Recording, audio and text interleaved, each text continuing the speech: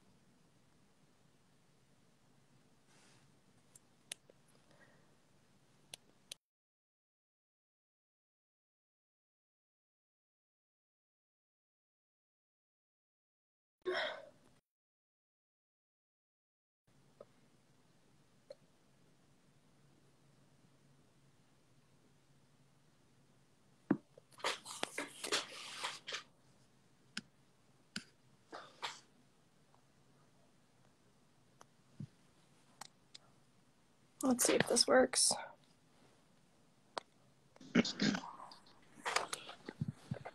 Hi, Uly. Hi Zelda, what's up? How's it going? Um, oh, it says Chase joined, but I don't see her. We don't need her. I don't know how this works. I've I've never done this. we can do it on our so own. Oh my god. the show must go on. I sent her a request. She's busy. yeah, she's bit- she has better things to do with her time. How's it going? Yeah. Oh, it's good. I think I finally am rested. Nice, yeah. Yeah, it's been yeah, we've been doing a lot of night shoots, everyone. So yeah, it's been it's been very It tiring. was awesome, but fun. I actually really like night shoots. It's been fun. I really like night shoots too. I don't know. I get very like um I get like a really strong sense of community when everyone's just tired together. Yeah. It's, it's Everyone's like exhausted. At four in the yeah, everyone's exhausted, but we're all exhausted together. Yeah, it's it's nice. What's the yerba mate flavor? Enlightenment. I've heard I that's the best one. It's I haven't tried any others, but it's the best one to me.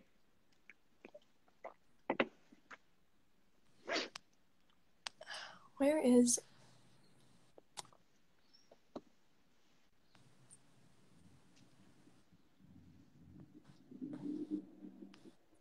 Sorry, y'all. We're just trying to. Oh, I'm sending an invite to Chase. Okay. Blue for you all the way. I don't like blueberry flavors. Hi guys. Hi, Oh. Chase. There you are. Hey. How's it going? I was trying to go live from my own account, but that did not work. you said I'm gonna do my own live. Hello. hello, hello. Um, we are just. Chase and Luke. Someone says Chase and Lukita are very confused. We are. Look, I think Lukita tried to do the same thing. I don't know anything about technology, so I'm with y'all on that one. Where is Lukita? And she's trying to start her own live, which I was doing momentarily, and then there's just there was no way out. Please, like at the she end said of a maze. please. Oh, answer me! Oh my gosh, I'm so sorry, Lukita. I'm, Oh, just yeah, kidding. okay. I'm for some reason I'm not getting. Oh, Lukita Maxwell. Ugh, it's not letting me add her for some reason. Do you guys know? um, I'm terrible with this. She's stuck in cyberspace. Lukita, I'm so sorry. oh no. it's like not letting me um oh my gosh it's not letting me add how do i do this oh invite to join here we go That sounds right. That sounds Okay. the little like thing at the bottom disappeared okay Okay. she should be able to get in now Heck yeah. hi Lukita. Hi. Hi.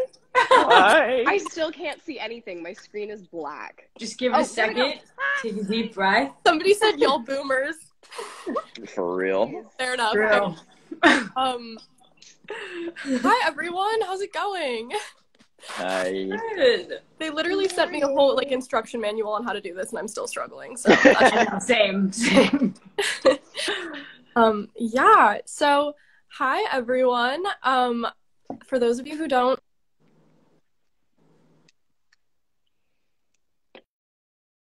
Max, and um, do you guys want to all introduce yourselves?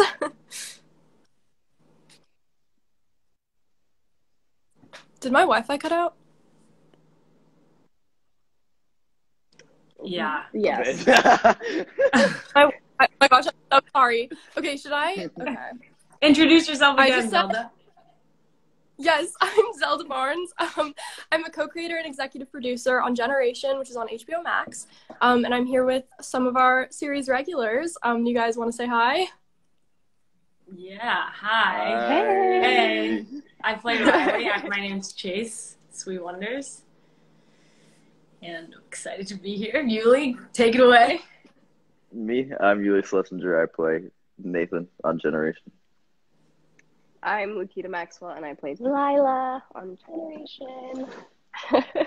Um, and we are here with Campus Pride. We're just going to talk a little bit about queer representation in the show. Um, so my first question for you guys, what are some of your favorite moments of like queer celebration and queer representation on Generation? That was a lot of like Asian ending words. Riley Greta sleepover. Period. Wow. Yeah, in. Oh my in. God. Riley Wow, Greta sleepover, good. episode five. It's the That's best good. moment. It's so I was. It's so tense. It's so like, oh, what's gonna happen? Oh my god. I love it. I love it's it. so tense and so tangible, and I've been there, and it's just like a, it's the queer gay panic, guys. It's just the, Oh my god. I love that. Yeah. I I my my fear has got to be. I mean, uh, the three-way kiss. I feel like between. I thought about saying that. Yeah, between True, true Bicon moment. true Bicon moment, and also just like sets up so much like. I don't know. Just what is unsaid is just like so, so, so tangible. And I, yeah, I feel like those just those looks, those side eyes, just like fuel the gay, the queer, the gay panic. Fuel the gay. Yeah, there's a lot of there's a lot of gay panic in the Greta Riley relationship. It's it's very sweet. I love their dynamic. Yeah. Same. Yeah. Same. Uh, what about you, Zelda? What's your favorite one? Yeah. Oh my god, I have so many. Um, I do really love.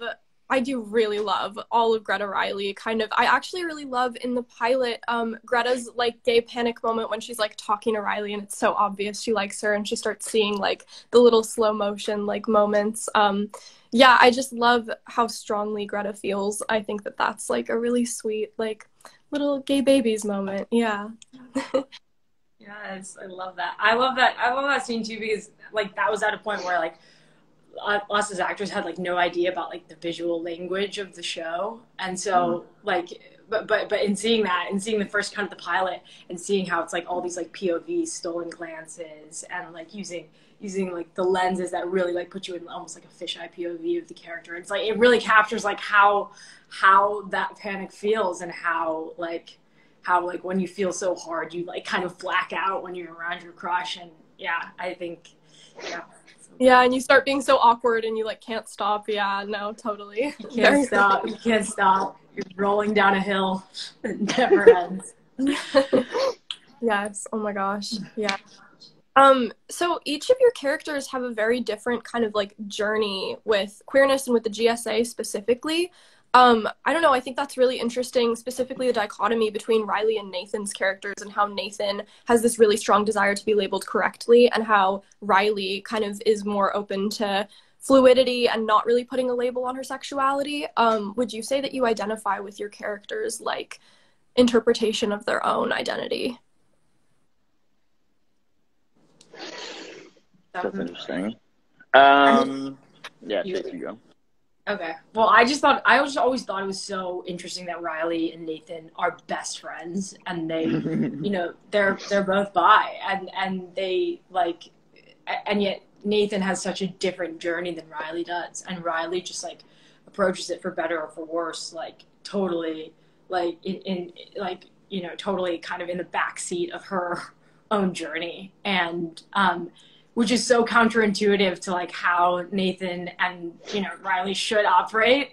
Um, like, but Riley's almost like as in control, if not le- less in control of like her journey than than than Nathan is, um, because he at least is like choosing to confront these issues like ha- head on, while Riley's like you know does not choose to to like label herself one way or another um, and i think which is like representative of of a, a, lot of gen z who you know have a very specific idea of like what their what their sexual like identity is but do not want to be um, put into a box or, or, labeled in such a way. So i feel like uh, at least for riley like that is kind of how i i always saw her. Um, but i always thought it was you know funny that that you know riley and and nathan you know don't really like speak candid so candidly about this issue and they kind of they're there for each other and they support each other so much and yet you know like they almost don't have to use the words to to bridge like that divide when it comes to their their sexual orientations.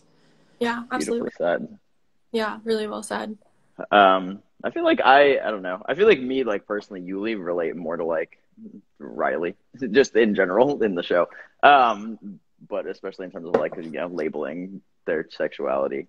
Um, but one thing that I found found really cool about Nathan from like the jump was just that like his problem wasn't it was he was never confused about his bisexuality. Mm-hmm. Like that was always just like he knew he knew, and that wasn't the problem, and that wasn't the character's problem. It was just like it was more so you know he had just normal fucking problems. He just had family drama and fucking unrequited love, and it wasn't it wasn't a whole story about like oh my god, I, am I bi? Do I like do I like girls or do I like guys or you know is it one mm-hmm. or the mm-hmm. other? I thought I thought it was nice to just have like a firmly like bi character who knew he was yeah. bi. Absolutely, and I do think that that's important with bisexual representation because I do think that bi people just throughout history have always been referred to as confused, and I think that when you're bi and you're not confused, that's really invalidating to hear for sure. Yeah. Um, Okay, I see a lot of people asking what our favorite toes are. Do we want to? what are your oh guys' favorite toes? I have answered this in a formal setting before. really? Why? I think it was in the same. I don't know. Maybe I'm just having intense deja vu. I dreamed this last night, but I answered the middle toe because everyone always forgets about it. What do but you mean really everyone always forgets about it? What do you mean also, you answered it in a formal setting? I don't know the details and I don't care to go into them right now, but I have the middle toe because everyone always forgets about it. you crack me up. You're killing me. Um, I'm gonna go with Pinky. Kita, favorite toe? You? Anyone? Anyone? My, Is it just me and I, I don't have a preference. I don't think oh. I honestly thought about it enough to have like an actual answer. Very political answers from Zelda and Kita. okay, okay, okay. Not stirring up a controversy. um, People commenting, not the toking. Um, but I do talk about how um, how how gay are. What? Oops.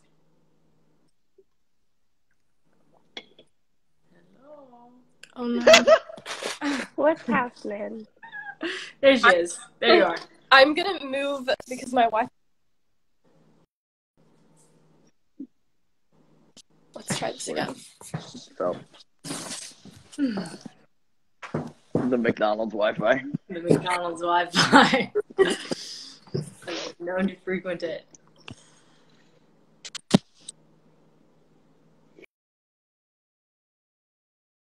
Going.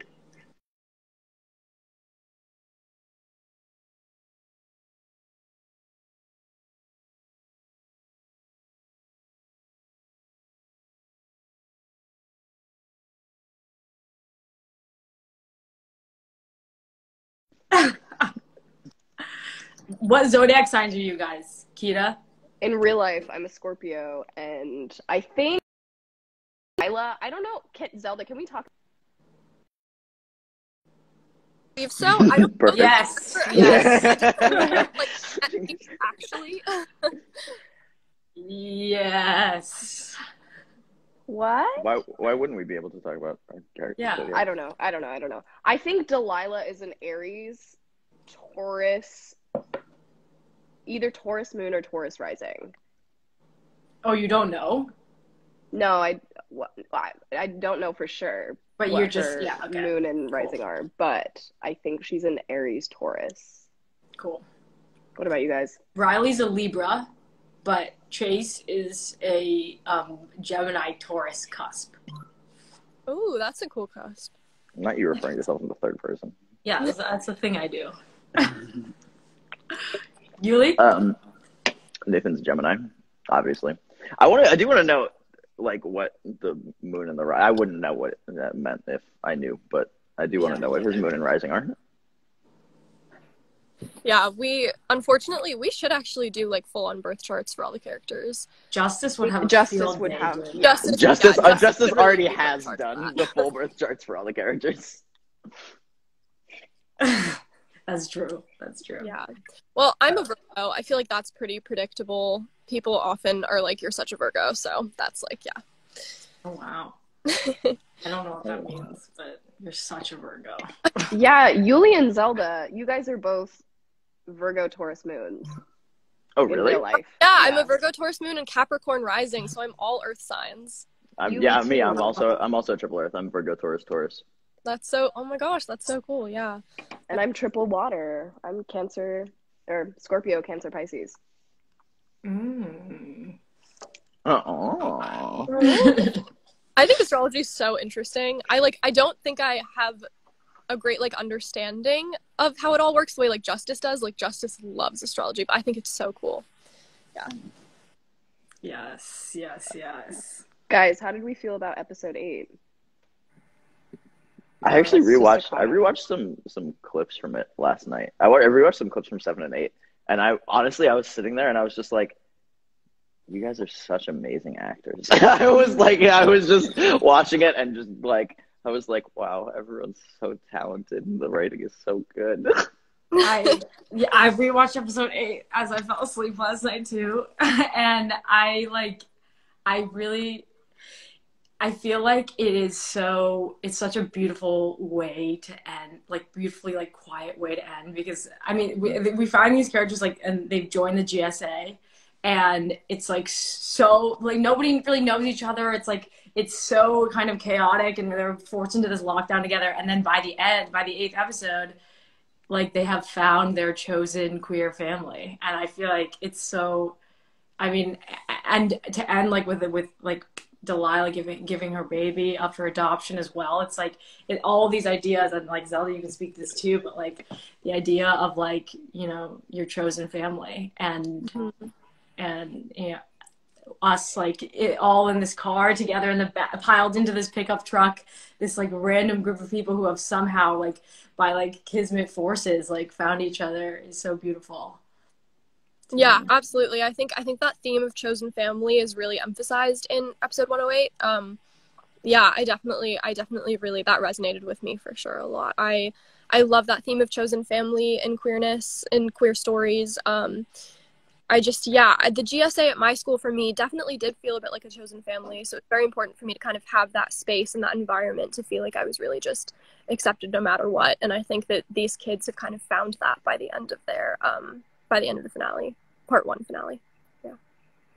And our and ariana's speech in the back where she talks about her Yeah. adoption makes me cry just every time Yeah, so that was actually influenced by um, my own adoption story. Um, my birth mother also wanted me to be raised by a gay couple because she really loved the show Will and Grace, and so um, that was a little like nod to my own kind of like adoption storyline and how Ariana like I, I really I really related to Ariana in that moment just because it's yeah the same same story.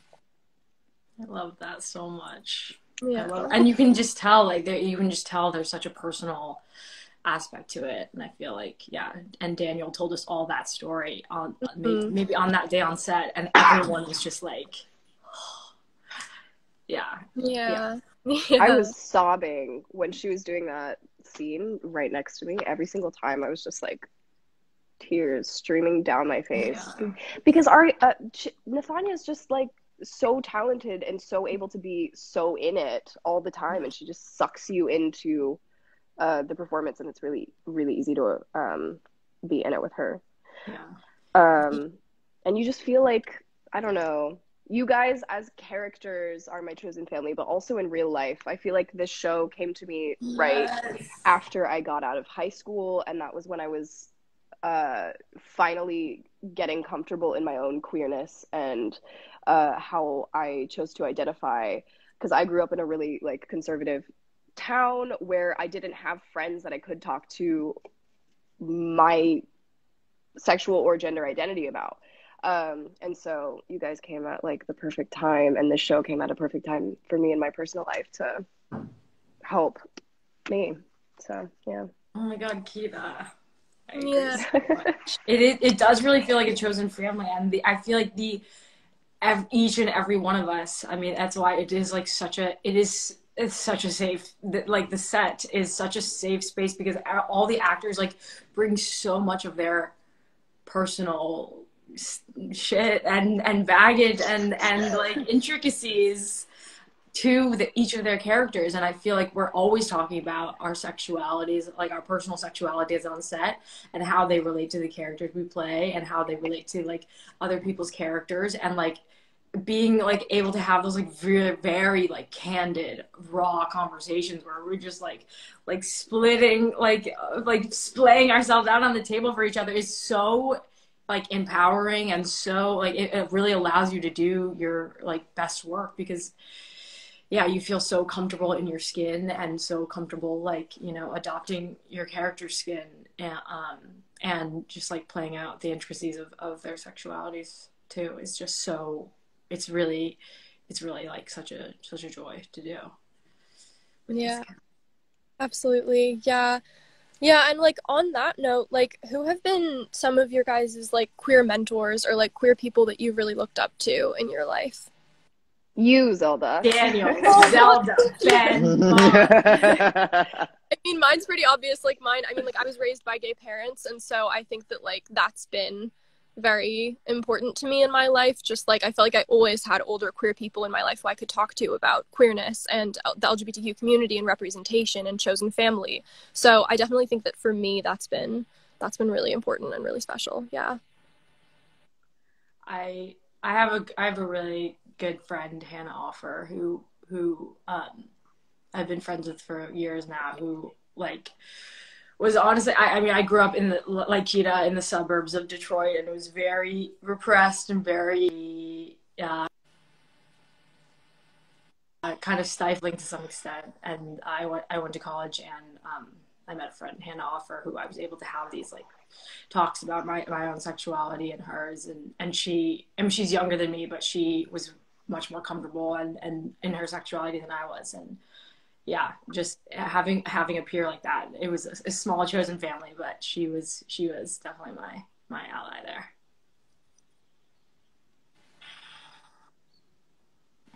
really Oh, um, I don't know. I feel like growing up, yeah, I don't know. No one in particular. When I was in high school, I mean, like, I my high school was really gay, to be honest.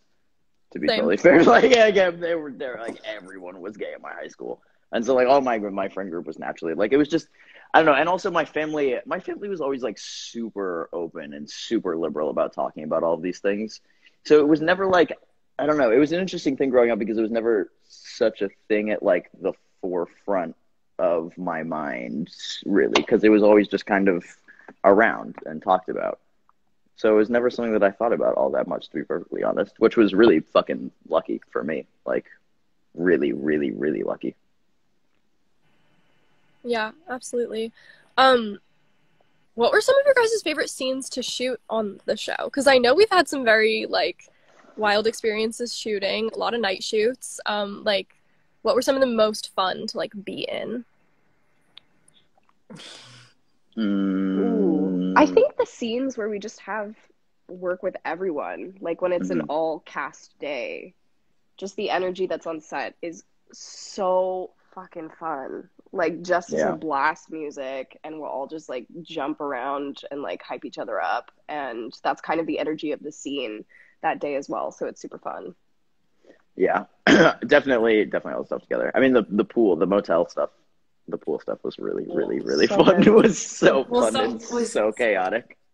so chaotic. Like there's something about like us be like all being in a pool together. Like like the it wasn't like we are doing a job for work. It was like we are all swimming in a pool in the middle of nowhere and like splashing each other and Kita's doing belly flops and like and yeah. And then also I mean that truth or dare scene it's Mhm. always so fun like leading like leading up to the kiss like we kind of start the scene and we're all like just doing improv and all like you know like shouting at each other and that just feels like so working it's such a it's such a fun way to flow into a scene when we're just like all like just improving um yeah love that scene Yeah.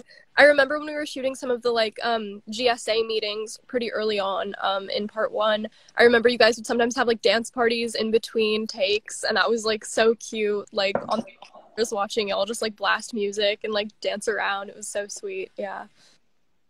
yes everyone's commenting belly flop belly flop do it do it kita you Right all- now? right, Right now,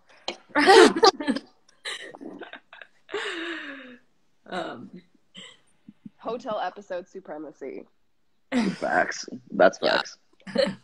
Yeah, seven i think is my favorite episode Me too. Seven- honestly, Really fun. seven yes seven and five. Five is so good. Five is so good. I love five. I love, i love all of them I love all of them. not she's coming through with the the diplomatic answers I- I really think they're they're all good. They all they're all so beautiful. They're all, you know, all, all. It's like picking a favorite child. Yeah. That's very real. um, what do you guys hope like this this show? Like, I mean, I personally just you know to start it off, I feel like I in high school, I I wish I had a show like this. Like, my life would be very different and much more pleasant had I had a show that you know offered this kind of this kind of representation you know when I was in high school. And yeah there was there was just nothing like this on on television at all and I feel like it would have made me much more comfortable in my skin if I if I had this when I was in high school what about you guys Mhm. I, I feel the same way. I think the show, it was the first show that I had ever seen that like exactly pinpoints like adolescent queer feelings, like all these like little swept under the rug moments that are or normally swept under, under the rug moments in like um, media that you get to peek into, and it's so tangible, even if it's just like a look, like literally the series of looks that Riley and Greta have towards each other in that sleepover scene, or like in the pilot, or in the motel. Like, oh my god, it hurts so good. It's just like, you know what I mean? It's Yeah. um, but I I had never seen that like represented on TV the way that you guys did in the show, and I cried. I sobbed when I saw it for the first time. I was like, oh, I feel like I'm like having a crush, ag- uh, having a crush again on this really cute girl in high school, and it's like, eh. Yeah. Mhm. I Yeah. after watching that scene, even Sam Sam Trammell, who plays um, who plays Mark Nathan's dad, he was like, "I was so dropped into that moment. That was so beautiful. I felt like I was a girl with a crush on another girl in high in my high school courtyard again. Oh my god!"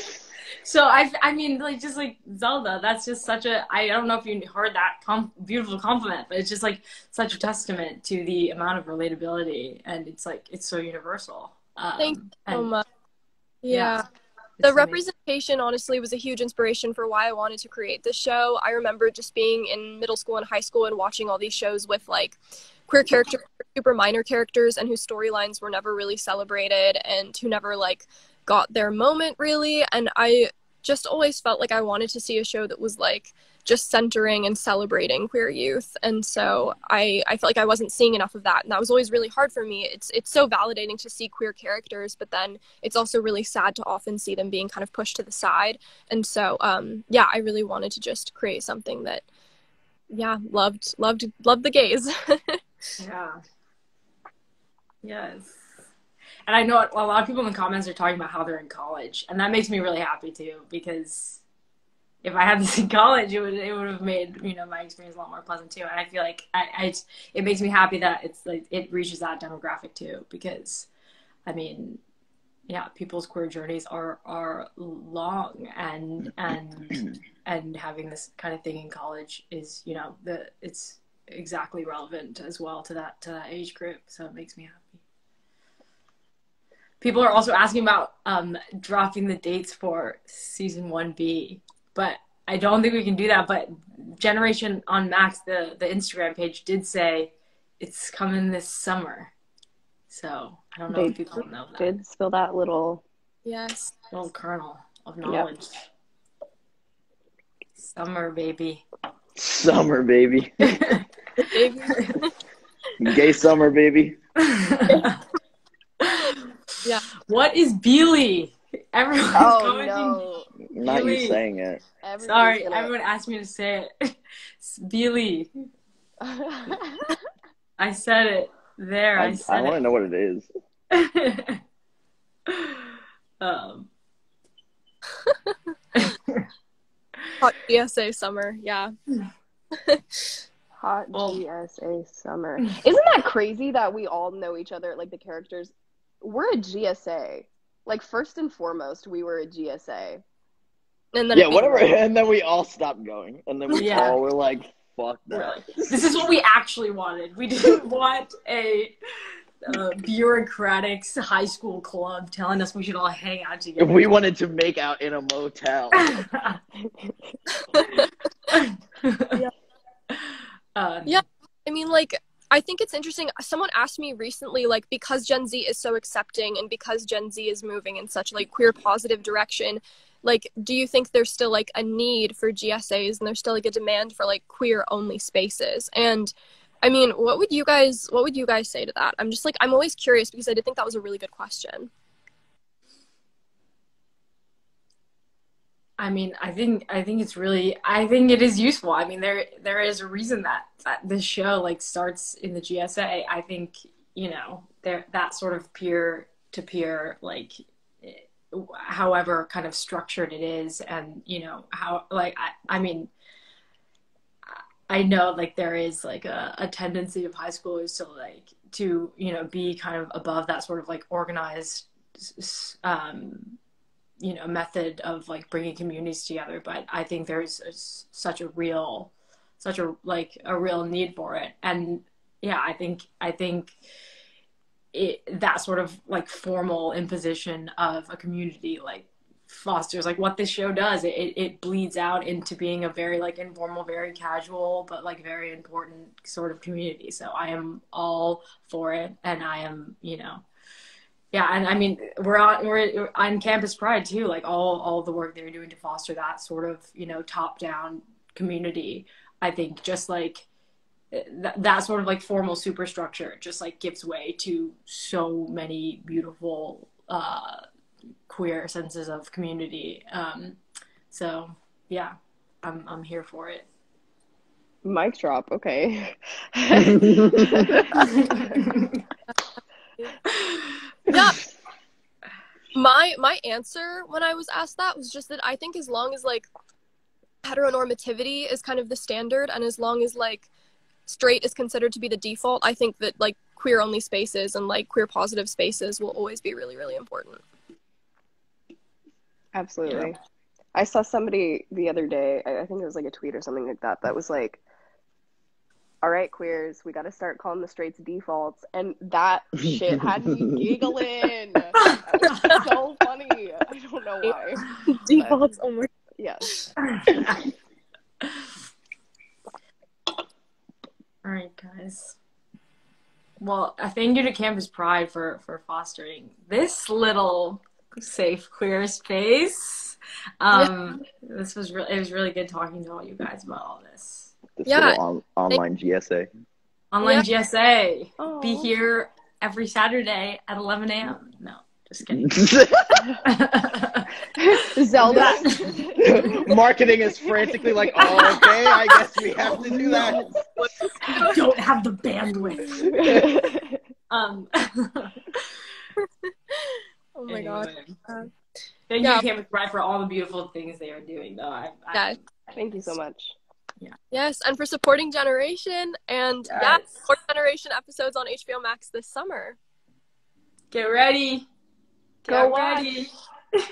Gay summer. All right. Enjoy. Stay summer. Love you guys. Love you all. Love you. Bye. Bye.